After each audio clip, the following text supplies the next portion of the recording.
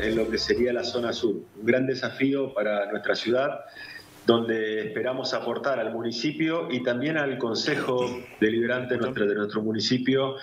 eh, herramientas e insumos, eh, informes técnicos para que puedan luego legislar y luego esas normas. Yo hoy hablaba con Agustín antes de, de empezar de la importancia que tiene por ahí el cumplimiento de las normas de nuestra ciudad que surjan de un consenso, que surjan de un diálogo institucional porque si no terminamos por ahí con normas que luego no tienen una aplicación inmediata o cuesta mucho la implementación de esa norma en nuestra ciudad. Esta página, reitero, nosotros eh, estamos abriendo canales para que la ciudadanía pueda participar. Cuanto más gente pueda aportarnos a nosotros, a las instituciones que conforman la CONESPO, sus saberes, sus experiencias, su visión de la ciudad que todos queremos, a nosotros va a ser quizás más sencillo eh, este aporte ¿no? en, en, las políticas públicas. Y establecer políticas públicas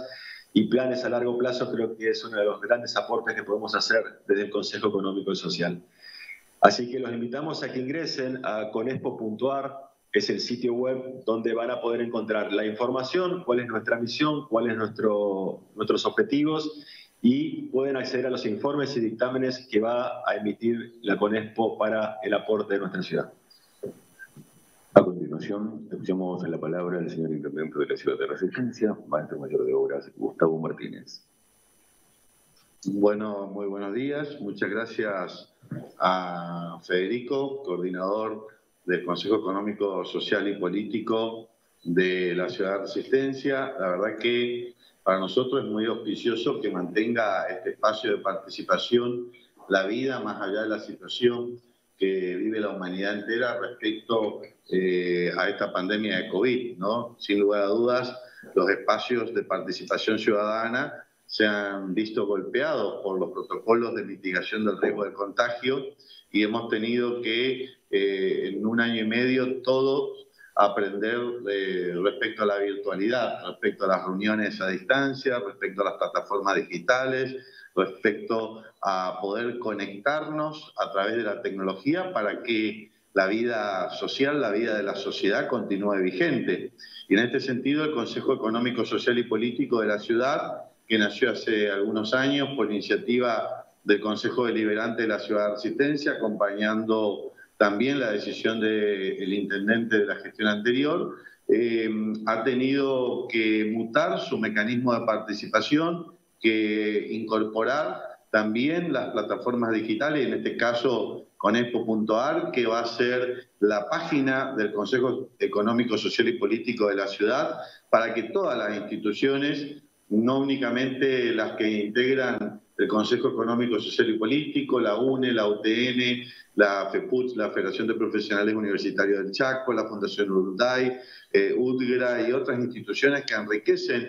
el ámbito del Consejo Directivo del Consejo Social eh, del Consejo Económico, Social y Político, sino que toda la representación institucional y los ciudadanos en forma individual puedan tener un punto de contacto con un ámbito que permanentemente está debatiendo, discutiendo y aportando a la definición de políticas públicas que mantenidas en el tiempo se transforman en políticas de Estado para la ciudad de resistencia. Pretendemos que este ámbito tenga la participación de todos los vecinos y vecinas, por eso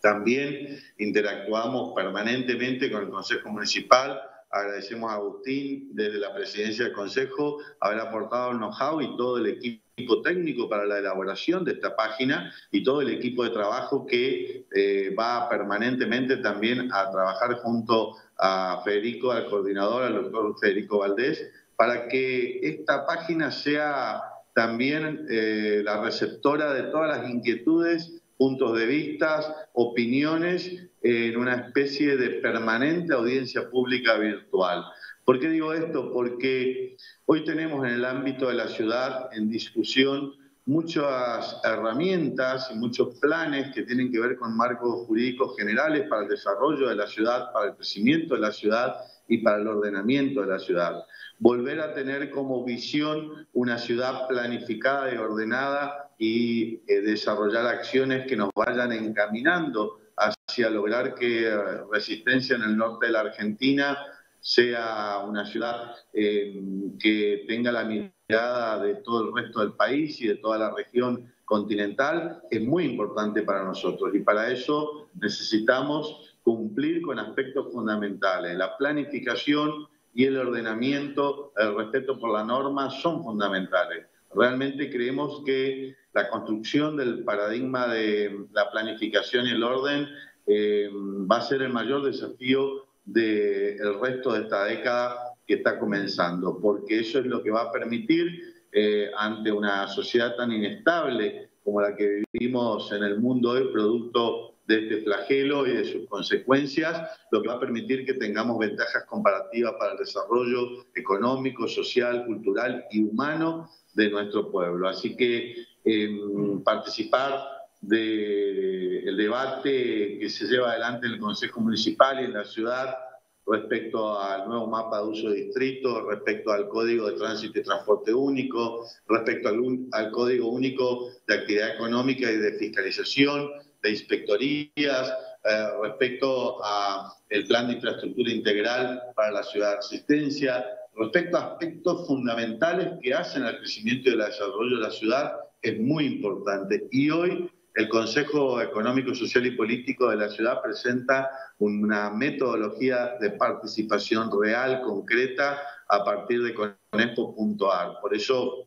queremos invitar a todos los vecinos, a todas las vecinas, a todos los dirigentes de todos los sectores políticos, sociales, culturales eh, de nuestra ciudad a que puedan investigar, que puedan tomar contacto con esta plataforma, con esta página web que puedan ingresar a conexpo.ar y también que puedan empezar a acercarnos opiniones respecto a todas las temáticas que se discuten en la ciudad. Estamos eh, realmente muy predispuestos a que esta ciudad cambie definitivamente, a construir eh, una ciudad planificada y ordenada, que es lo que necesitamos, pero también es indispensable la participación ciudadana porque es lo que legitima el proceso de cambio y el camino de la construcción, de la planificación y el orden. Esto es central para nosotros y es por eso que agradecemos mucho el trabajo de las instituciones que integran el Consejo Económico, Social y Político, eh, la tarea del doctor Federico Valdés, que tiene a su cargo la coordinación de este Consejo, y todo el esfuerzo que ha llevado adelante el presidente del Consejo Municipal, Agustín Romero, con su equipo de trabajo,